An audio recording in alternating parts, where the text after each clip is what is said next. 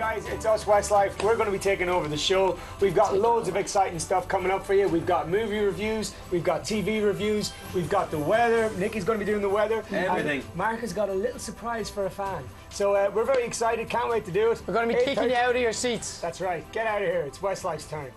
Just hurry up, guys. There's no problem at all with that. Thank you very much indeed. Cheers. See you in a few minutes' time.